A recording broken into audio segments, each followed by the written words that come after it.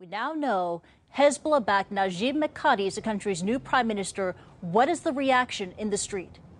Well, the reaction has been sort of gathering steam because it was pretty clear that Mikati was going to be the pick. And we've seen uh, supporters of Saad Hariri, the previous prime minister, out on the streets condemning Mikati, saying that the elections have been stolen, by, or, or, this essentially this position has been stolen by Hezbollah for Iran. They're calling it a coup. We've seen them burning tires on streets today, throwing rocks at soldiers, burning uh, that satellite truck belonging to the news network Al Jazeera. So it's been angry demonstrations, but Mikati's been speaking as well within the last hour since being nominated. He's come out and said, look, I'll work with all parties. There's no reason why any political uh, uh, uh, leadership here in the country shouldn't come and work in this new government. So clearly he's sort of extending an olive branch to Hariri, who said that he won't work with this new government. Uh, but Hariri's also been on TV today, and he's been telling his supporters, tone it down. This isn't the way we should express ourselves. He even apologized to Al Jazeera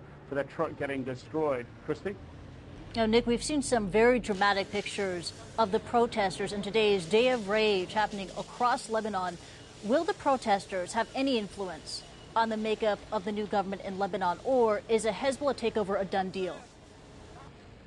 You know, I think what we're going to hear more of here, that this isn't a Hezbollah takeover. When we hear more from Mikati, he's going to cast himself as, you know, a Sunni politician who is a moderate, who has been picked at a time of crisis for the country, who is going to, as he said, extend his hand to all the different political leaders. Will these demonstrations make a difference? Well, I think all the political leaders here know that there's a tinderbox of sectarian tensions particularly between some Sunnis and some Shia in the country. So that they know that this is the background that they're working against. So will the demonstrators actually make a difference?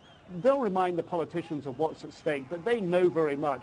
So what we'll see today, will it make a difference? Only if something really bad happens and there's a spark that, that sets off wider violence. And against that backdrop, people retreat to their sectarian corners and it's much harder to make political deals. And what is the possibility here for wider violence? Could we see a return of the bombings and political assassinations that we saw after the assassination of Rafik Hariri years ago?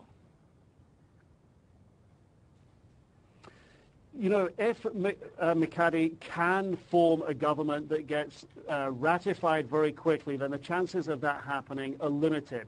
But if there's a sort of a, a political vacuum and he struggles to get the consensus that he wants to form the government that he wants that's going to be acceptable to uh, a simple majority of 128 parliamentarians. If he struggles to do that, then it's in that vacuum that the potential exists. So yes, it could happen. Uh, he's going to start meeting with MPs on Thursday, he said, to try and try and form this new government. So how quickly is he going to do it? That's what the people on the streets here are waiting to see. هذا الأمر غير مقبول غير مقبول على الإطلاق. القضية ليست مادية.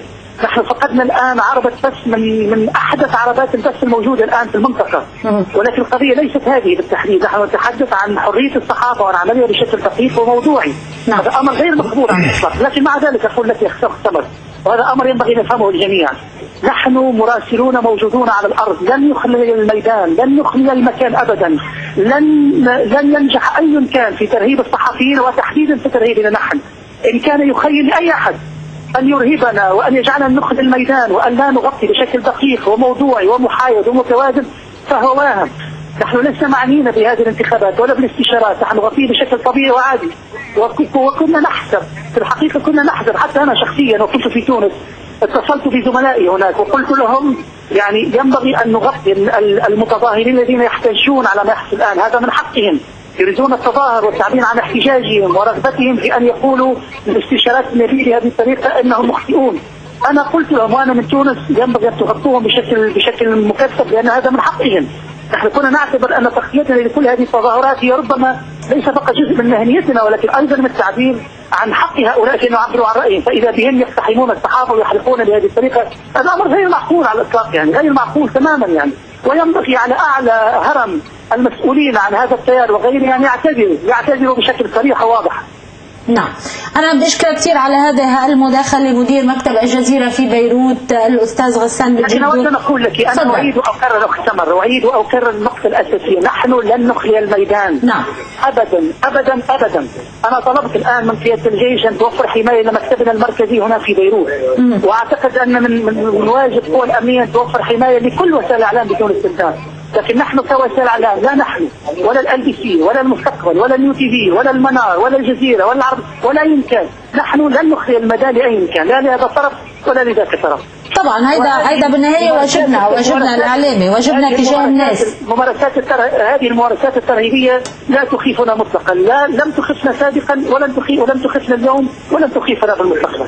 برجع بكرر آه، تهنينا بالسلامة للفريق يعني على أمل أنه يم- يمضى هذا النهار على خير كمان دون المزيد من ال- ال- الإصابات والخسائر. غسان بن جدو مدير مكتب الجزيرة بشير هون قاسم عبد العزيز. رشح الرئيس الحريري كمان عم نسمع نسمع كمان إطلاق نار بطرابلس آه، عن سيارة النقل المباشر. آه، يبدو انه هناك متظاهرين بحالة غضب شديد كما يبدو. آه، ولكن هذا الغضب يعني مش لازم يروح صوب الصحفيين طيب. طيب. العناوين الداخلية يعني الإصلاحية في شفنا نار اضرمت بسيارة النقل المباشر التابعة لتلفزيون الجزيرة. إن شاء الله حدا بيكون من الزملاء يعني. لا اصاب تركوا المكان يعني الزملاء. يعني إن شاء الله تقتصر على الجانب المادي. إيه بالتأكيد أنا ب- يعني لا شك أنه موضوع العلاقة اللبنانية السورية أنا بعتقد جوهر في, في هذا الموضوع. وعندي قلق يعني بإطار هيك التحليل. أنه فعلا ما جرى. هل هو ما شايف إلا نتائج أو تداعيات أو إلا شيء إيجابي؟ ما شايف شيء إيجابي؟ الجانب السلبي أكبر. هو ما شايفه إلا في إطار إثارة النعرات السنية الشيعية ومزيد من خلق الاحتقان والحقد في هذا المجال. يبدو يعني حسب يزبك عم بيقول إنه كأنه مشوا يعني على الأقل. هل تعتقد يعني كل هالمواضيع اللي كنا عم نحكي فيها اللي لها علاقه بالعناوين عناوين العلاقة اللبنانية السورية هذه العناوين كلها سيتفاداها الرئيس نجيب ميقاتي في حال تمكن من تشكيل الحكومة؟ يعني حتى خلي طرف ولكن في مرحلة أخرى طرف تركوا المكان. الزملاء. يعني إن شاء الله تقتصر على الجانب المادي. إيه بالتأكيد أنا يعني لا شك إنه موضوع